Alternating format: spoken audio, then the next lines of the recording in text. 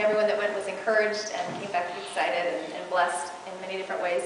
Um, As I was telling Dan earlier, the highlight for me was seeing uh, many of the different women share, and um, just about everybody had something to contribute in ministry back. So it was, that was wonderful. That's one of the strengths that we have at Grace, um, a lot of depth in people uh, love it, want to see that more.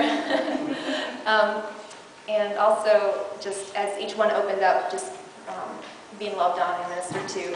And that's another one of the strengths of Grace, is this is a family, and um, maybe a little bit hard to get to know people at the beginning, but if you stick in there and get to know people, you are loved, and you are part of the family, and that's what the body of Christ is. So, um, just really, really had a wonderful time, and Whitney, thank you so much for all the work that you did, that went into that.